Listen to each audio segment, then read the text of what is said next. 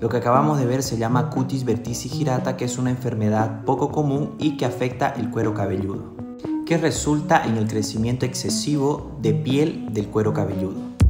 Esta enfermedad afecta mucho más a hombres que mujeres y se va a dar en la parte central y posterior del cuero cabelludo. Se le dice que tiene forma cerebriforme, adopta la forma de los pliegues de nuestro cerebro. Esta enfermedad se clasifica en cutis verticigirata esencial primaria, que no está asociada a ninguna enfermedad y que también no se sabe la causa.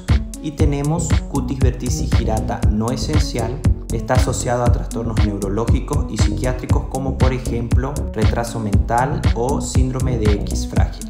Y por último tenemos el cutis verticis girata secundaria que se va a producir por consecuencia de procesos inflamatorios como por ejemplo psoriasis, acromegalia, neurofibromatosis, etc. Espero que este contenido te haya servido. No olvides seguirme en mi Instagram y en mi canal de YouTube para más videos.